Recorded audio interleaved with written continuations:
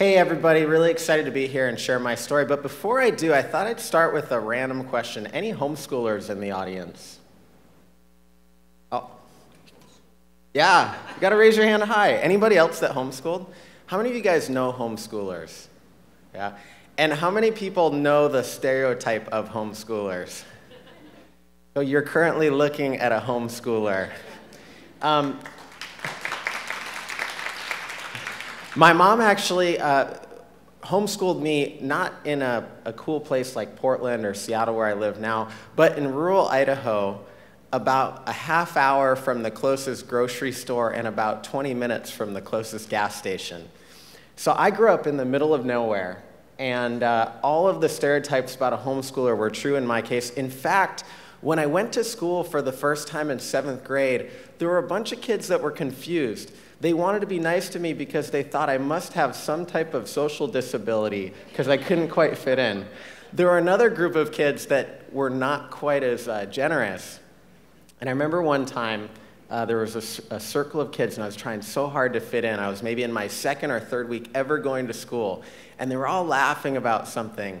And so I joined in and started laughing. And I thought about it for maybe like eight or nine hours. What are they laughing about? And I got home that night and I realized they were laughing about how socially awkward I was. oh, I know. but um, I actually kind of hit a, a gold mine because I met these two guys that were very socially capable. And uh, they mentored me, and we started a rock band together.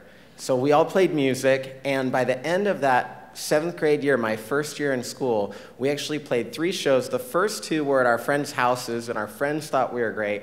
And then the third one, we threw this big concert and had all of our friends invite other people. We actually had 300 people show up to our first actual concert as, as 12 year olds in seventh grade. And included in that 300 uh, folk, uh, person crowd were five members of our favorite local rock band in Nampa, Idaho, in this tiny town in Idaho.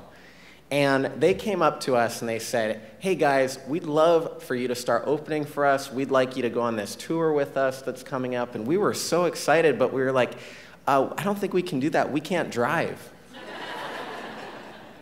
and so, uh, even though we couldn't drive, they said, That's okay, you guys can pay for the gas. And I'm actually the fourth of six kids, so you might ask, where were your parents in all this? The fact that my parents can remember my name is a total miracle. and so uh, I actually was propelled into being in my own tiny world in Idaho a complete superstar from being a complete castaway in about five seconds. And we had this series of incredibly unlikely events where we went from that to going on tour, to touring regular, to being on the radio nationwide, to having people recognize us everywhere we went, places where we had toured, to you know, be going. And our largest show actually we played was at the um, Idaho Fairgrounds. We had 5,000 people show up. And it was one of the best moments of my life. I, I remember it like it was yesterday because we had been on tour for two months. I hadn't seen any of my friends. And while we were gone, our music had just caught fire locally.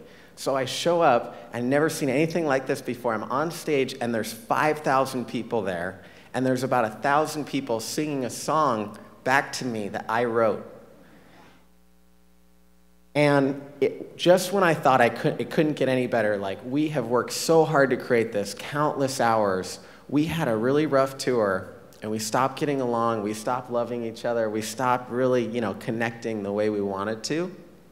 And for us, that's what it was all about. So we got back from a tour and our drummer, who was a perhaps the most talented member of the band, said, "Hey guys, it's over. It's done." And all of a sudden, I was back to being that seventh grader that couldn't fit in, that people made fun of in my head, and I was trying to figure out, like, what can I do? And I realized a big part of what I brought to the band was service to others. And I was kind of known as the business person of the band, but I didn't really think of myself that way. And I remember one of my friends from another band sat me down and said, You know what, Dan, you're a pretty good bass player, but the two guys you played music with, they're really exceptional And the chances of you ever finding two people like that to play music with ever again is actually pretty low. But what you brought to the table was you went out there and you hustled and you worked hard and you made it happen. And he's like, that's special. And so I had this huge void in my life that I needed to fill. And I was a junior in high school, and we had these businesses. And what I found was there were a lot of independent business owners out there that had so much passion and so much love for their clients, so much in terms of their product, but they were constantly being taken advantage of by big companies. And it was almost like the whole thing was structured against them. So there was a coffee shop owner named Heather in Caldwell, Idaho, and we'd play acoustic shows there. She did so much for us. She cared about us so much. So I decided I was going to help her and help her redo her, her technical systems, help her redo her phone lines, internets, and also help her redo her point of sale system, which is how I found what I do today, credit card processing, because what I found was she was really being taken advantage of by these huge nameless, faceless companies. And basically, every six months, they'd add new fees that she couldn't understand, and they would just do anything that they possibly could to take advantage of her. And she had done so much for me that I just wanted to like help her out. And it turned out I was able to help her out a ton, and her business really benefited. And that connection I felt with her, to me, was so much more valuable than any money I could ever make. And so I started to build a business, and I built a small practice through her friends and people she referred me to and people they referred me to. And I helped people with their credit card processing, with their point of sale system, with their gift card system. And I got up to a couple hundred clients, and I just realized I was chasing my tail because basically I'd call up and um, how many of you guys have like Comcast or Time Warner or CenturyLink? And how many guys feel like that's like a fair prop process that you have? Probably not too many. So just to fill you in on kind of what I did, I'd basically be the guy that would call Comcast for you every six months and try to like wrestle them into treating you fairly. And it was really a losing battle, but one where I was making a big impact. So I started building my own product, and finally, my freshman year of college, I had my product ready to go. And so all of my consulting clients, which I didn't expect, they were all so connected with me and connected to each other that they decided they were going to get behind me and actually join my new company and join my new product. And I'll tell you what, that was a really big risk on their part. It took a lot of love, a lot of passion for them to believe in me because here's this 19 year old kid saying, Every dollar that goes through your business electronically, trust me with it and hope that it's going to work out, I guess. to this day, I still think they probably made the wrong decision, but it worked out really well for them. And I'll forever be in debt to all of our clients. And so the business just kept growing. And you know what? I never really thought that making money should be a big priority. And I remember three years in getting to the point where I was making $30,000 a year and thinking that I was a complete millionaire, the luckiest guy on the planet, because I could go out there, serve these businesses that do so much for our community, and make enough to get by and pay my basic bills. And I just thought, like, how could I have possibly gotten so lucky? This is so amazing. So I kept building my business that way until the end of 2008. And our profit was close to zero, but we had saved up a little bit from the just barely over zero profit that we had made. And in the fourth week of August of 2008, we lost 20% of our revenue overnight. And it was my first recession as an entrepreneur. Uh, and, and I really had no idea uh, the impact it could have on our business because I just wasn't wired to think that way. And so we all of a sudden started losing money every day, and we had about seven months to survive. And so I went a little bit into panic mode, but I said, Dan, you got to step up. So I got all of our 40 folks in a room and said, hey, if we actually continue to grow and we get together and we work hard with our current growth rate, in four to five months, we'll be back in the black. And we'll be, you know, we'll have one or two months to go before we lose everything. And so we all came together, and people started working like crazy. I, for myself, had been working a lot out of the office and working on our products, and I would do that from 7 a.m. until 5, 6 p.m. And then starting at 6 p.m., I'd go out and start selling again. I'd walk into these restaurants and cold call like I used to when I was first starting. And a lot of the restaurant owners were there. They were in survival mode too, so I met them. But there are so many stories like that of us coming together as a team. And I was just one of 40 people that was doing anything that we could to preserve our vision of making the world a little bit more fair for these amazing independent businesses that make it so rich and wonderful for all of us. And I remember the next two years, we were really proud that we did that. We were really proud that we were able to do more with less and survive. And I, I was all high and thinking, this is fantastic because we've recovered, we've survived, things are better than ever. And I remember walking into a parking lot in, in 2010, the parking lot of my office, and I saw a guy that was sitting there taking a break. Do you ever get the feeling like somebody's really pissed at you and you're not sure why? I just had this intuition about this gentleman named Jason that works at Gravity still today that he was really, really angry with me. So I went over to Jason and I said, Hey, Jason, what's up? And Jason said to me, You know what, Dan? You're really, uh, you, you're, very proud of the company and all of us and yourself about how frugal we are and how we got through things. I said, Yeah. I said, You know what that means to me? What it means to me is that you're actually taking money out of my pocket that I could use to spend, uh, to, to, to spend more time with my nephew, who I care about. And you go out there and you're like so happy about it, and you're actually like actively hurting me and actively almost robbing from me. But because of the power distance that we have, you know, you can kind of get away with it. And at first I felt like a complete victim, like, oh, I've done so much for these people and this person, and yada, yada, yada. I'm, you know, he's crazy. And I told him, I was like, Jason, you might be right, but you don't think I would do that consciously or on purpose, do you? He said, absolutely, I think you are, actually. He's like, I bet you're proud about this. So I thought about it for like two or three days, and I, I, honestly did not sleep the next two or three days. And I decided that Jason was right.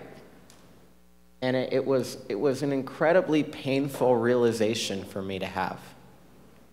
And so I made an initiative that starting that day, I was going to care for the folks that I worked with and invest in them the same way we had invested in our clients.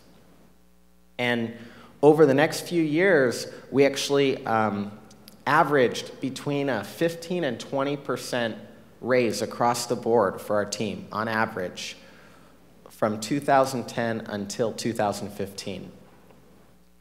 And what happened was the company became way more successful. And I realize we're in a good macroeconomic environment, but even adjusting for that, the company continued to succeed, and we continued to have this connection with each other where we were all in it together.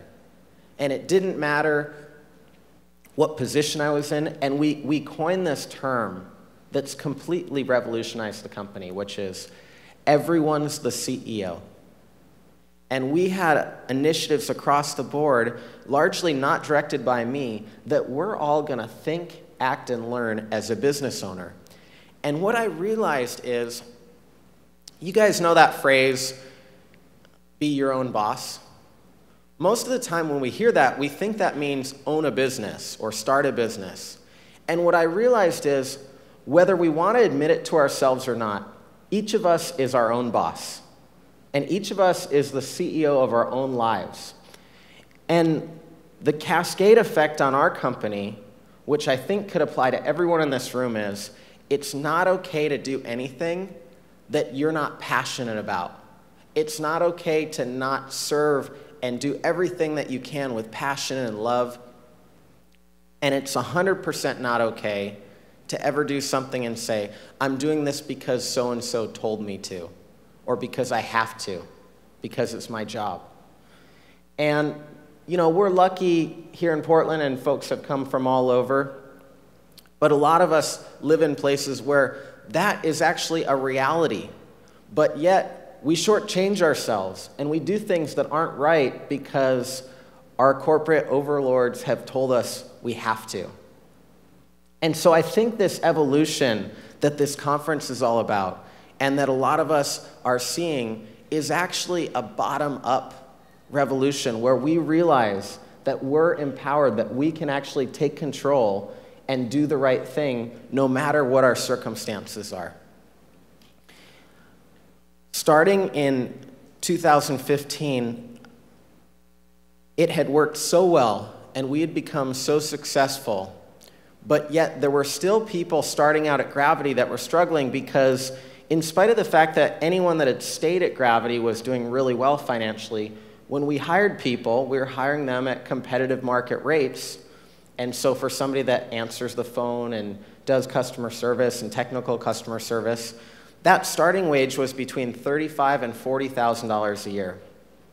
And I was seeing people making $35,000 to $40,000 a year go above and beyond, do things better than I would do them, and really be an example and be part of this culture. And I realized we were still kind of getting away with something because we had such a great culture and such great connection with each other. And I realized I could probably keep getting away with it, but what I said was I started my business because I wanted to stick up for the little guy. I wanted to help independent businesses. And then that grew to, well, actually, the folks at Gravity are the little guy too. And did I really mean that? Or was I like everybody else? And so, to me, the fact that I could get away with paying people a lot less and raking it in for myself did not mean that that was okay to do. And I realized it was a character test. And it was a test of did I actually believe what I said I believed? I put it all together on a hike on a Sunday. Everybody, I really encourage outdoors, hiking, give yourself time. Really helps with creativity. In this case, the creativity wasn't so good because it was like guilt and conviction creativity. but I realized I could do it, and for the next two weeks, every day I woke up with night terrors. Dan, forget this dumb idea. Don't do it. Everything is so good, you're going to completely screw it up. Why would you do this to yourself? But I knew it was the right thing to do. And I knew that it wasn't something that I could do, I knew it was something that I had to do. So we put the policy into place, and I determined that by inviting a few press folks, maybe I could pay for 10% of the cost of it. Because as an entrepreneur, I want to do all these great things, but I have to find a way to pay for them. The money doesn't come out of thin air. And so we invited the New York Times to come and cover it, as well as NBC News. The New York Times was a little sneaky. They had pre written the entire article somehow and pieced it together from previous articles, not even interviews or talks they had had from us, but we had given them the headline.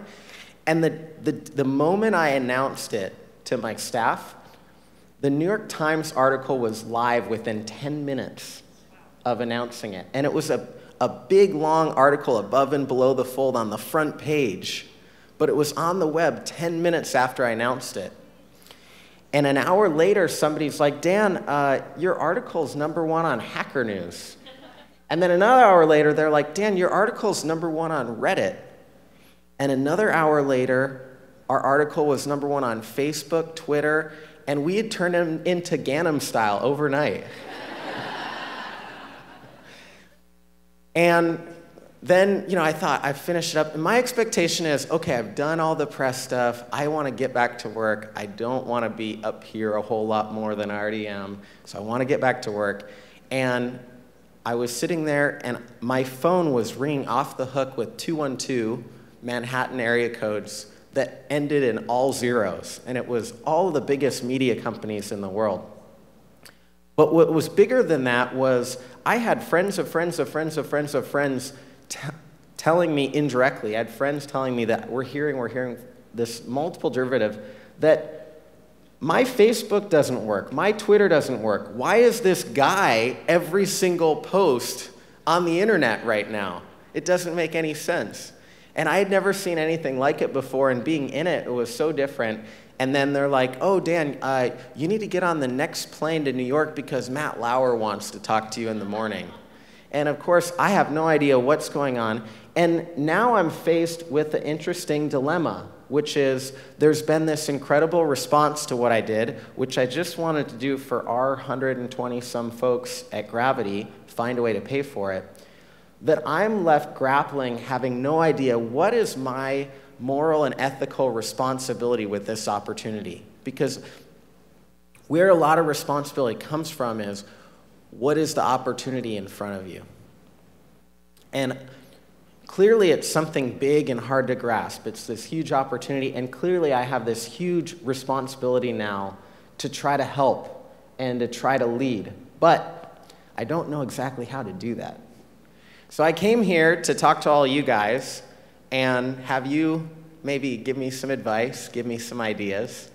And it's been about two months now, and it's been, it's been fun and exciting, but a little overwhelming. My lifestyle was kind of figured out before all that, and now it's like really you know, chaotic and overwhelming. But the response has been so inspiring for us. And we've just enjoyed being a part of these conversations. And I've heard uh, from hundreds and hundreds of CEOs that they've redone their pay policy or they're investing more into training. And people ask me, Dan, do you want companies to follow suit? And the answer to that is it's not about money.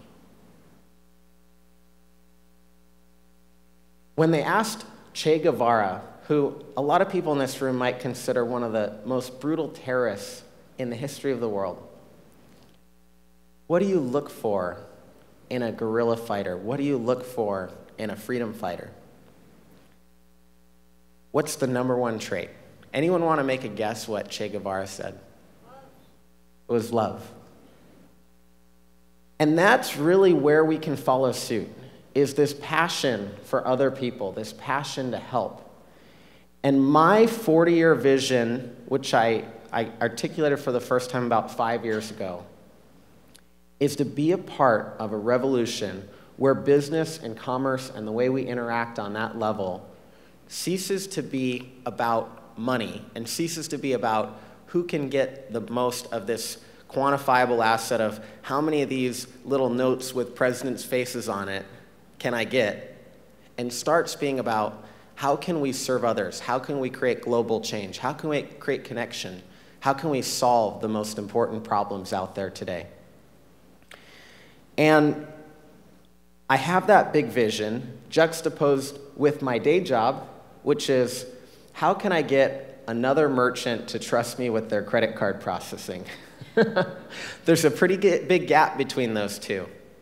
But I found a way to create harmony and to see them as the same thing. And I would love and encourage you all to think what's the one thing between now and when your career ends or when your life ends that if you accomplished, you'd be willing to sacrifice everything else? What's your one thing like my one thing is? And how can you create harmony and connection to what you do every day and that one thing? Thank you very much.